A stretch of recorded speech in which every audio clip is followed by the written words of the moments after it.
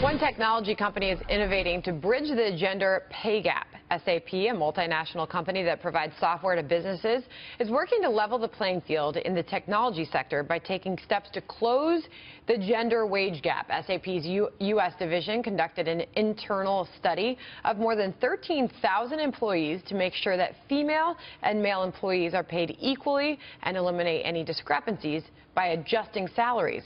Joining us now is president of SAP North America, Jennifer Morgan. So how did this all turn out?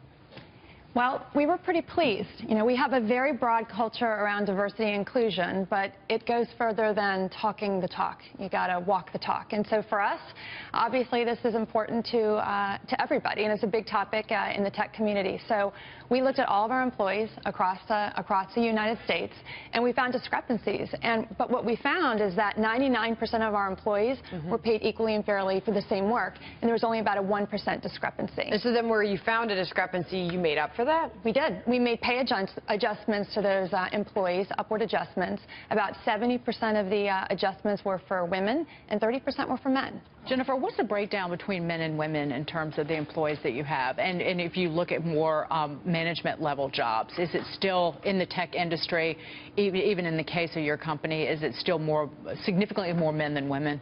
Yeah, we still have work to do. In North America, we have about 34% of our employees are female, mm -hmm. and we have about 30% uh, women in, in, leadership roles, which is, I think, uh, a little bit higher than the average. Yeah. It's, it's so wonderful to see you here in a leadership yeah. role. You know, it's, it's wonderful. Um, and I'm just wondering what, you know, what is being done, and I'm sure you have an insight into this, to help recruit younger women from universities, mm -hmm. some of that top talent, because those numbers are increasing into companies like SAP and other tech companies, so that we do eventually see these more women filter up to leadership positions. Absolutely. Well, I think it's important important this we're excited about what we've done because number one it really motivates our existing employees it makes them feel great about their career where they can go.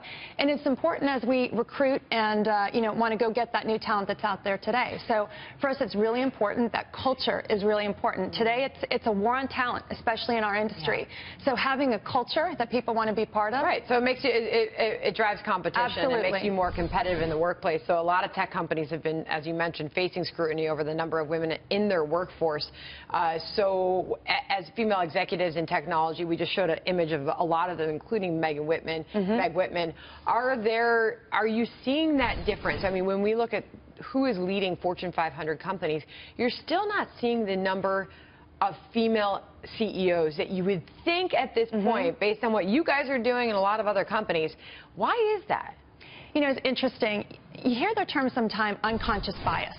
And when you look at your employee base or you look at uh, maybe promoting somebody to the next level, a lot of times people might think about the job having a lot of travel, a lot of demands. And unconsciously, when you're considering people for that job, you might think, gosh, they still have kids who are in school.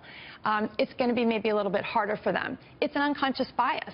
There's, a, there's definitely a psychological gender bias in Silicon Valley in yep. particular, where if when people are in meetings, I've heard stories, women will mm -hmm. come in and people automatically assume they're in marketing and not in a technical role, and it's just the assumption, but it takes a long time to break that. And what's interesting is we're, we're seeing technology being helpful to actually identify that. So for us, we actually have some uh, algorithms, machine learning algorithms, that point out where you might have areas of unconscious bias. If you're putting together a job description, certain words that you might use, as an example, might focus the attention on a job being hmm. uh, assumed to be for a woman versus a man.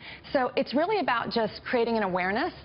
Do you think what you guys did could equally and fairly apply to other industries? Absolutely. Hmm. Absolutely. You hear about it so much in the tech industry just because the numbers yeah. show there aren't as many women. Right. But I think it's important. I think it's important, and obviously there's still a lot of work to do. All right, good stuff. Thank you, Jennifer yeah. Morgan, for being here this morning. Thanks good to have you. Me. All right.